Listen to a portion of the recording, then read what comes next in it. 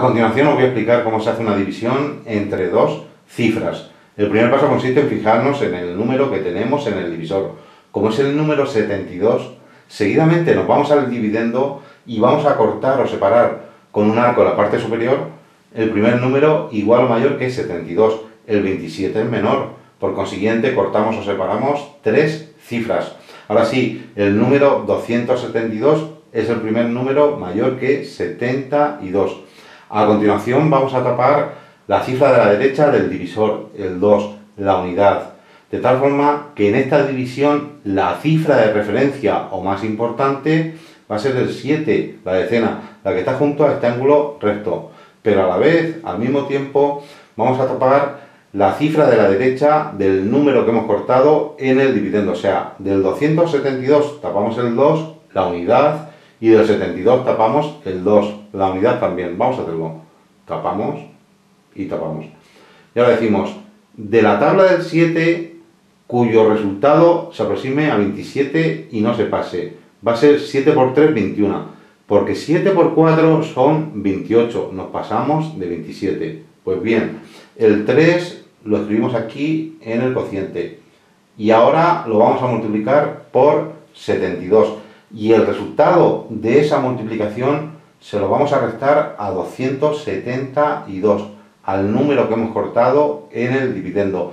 Pero la resta la vamos a hacer directamente de cabeza, sin escribir el sustraendo. Venga, 3 por 2, 6, y aquí tengo un 2. Imaginaros que es una escalera y queremos saber el número de escalones o peldaños que tenemos que subir desde sustraendo, que no lo hemos escrito, hasta el minuendo, desde el número de la parte inferior hasta el número de la parte superior, ya que estamos restando, ¿de acuerdo?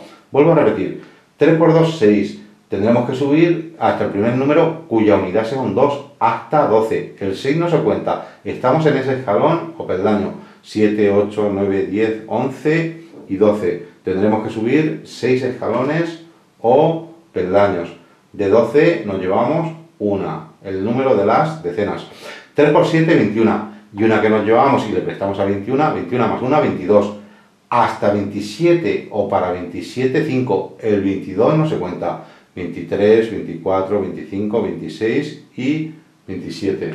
Tenemos que subir 5 escalones o peldaños.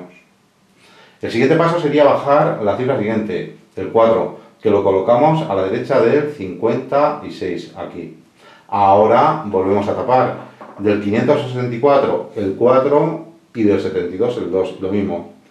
De la tabla del 7, cuyo resultado de 56 y no se pase, va a ser 7 por 8, 56. Pero ojo, luego nos vamos a pasar con las que nos llevamos. Imaginaros que escribo aquí un 8. No lo voy a hacer porque tendría que borrarlo. Y multiplico. 8 por 2, 16. Y aquí tengo un 4. Tendré que subir hasta el primer número cuya unidad sea un 4. Hasta 24. Hasta 24 me llevaría 2 de 24. Y ahora, 8 por 7, 56. Y 2 que me llevaba, 57 y 58.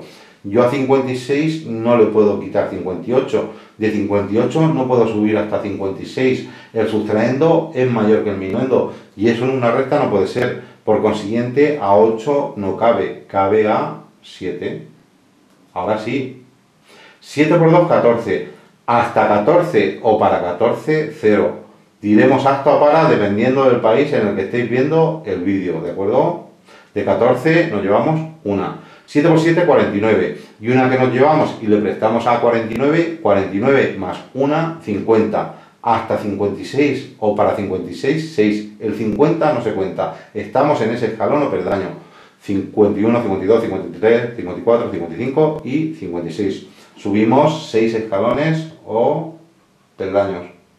Y por último bajamos la cifra siguiente del dividendo, el 9, que lo colocamos a la derecha del 60, aquí. Y ahora volvemos a tapar. Del 609 el 9 y del 72 el 2. ¿Os estáis dando cuenta que la cifra más importante es el 7 o cifra de referencia? Lo mismo, la tabla del 7 cuyo resultado se aproxime a 60 y no se pase. 7 por 8, 56 a 8 que lo 8 lo escribimos aquí en el cociente.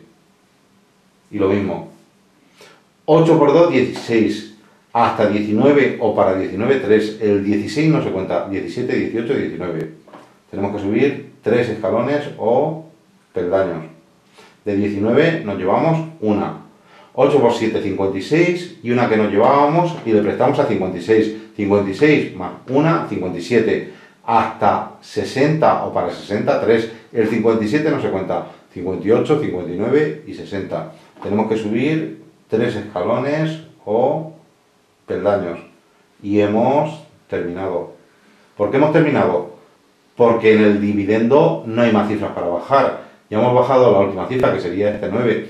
Con lo cual, el cociente o solución de esta división es 378 y de resto residuo, o sea, lo que nos ha sobrado ha sido 33. Decir que el resto tiene que ser menor, más pequeño que el divisor. También decir que el hecho de tapar las cifras se hace solamente al principio, cuando estáis aprendiendo a dividir, ya que una vez aprendido el mecanismo, no será necesario tapar ninguna cifra. Todo se hará de forma intuitiva, ni por supuesto contar con los dedos.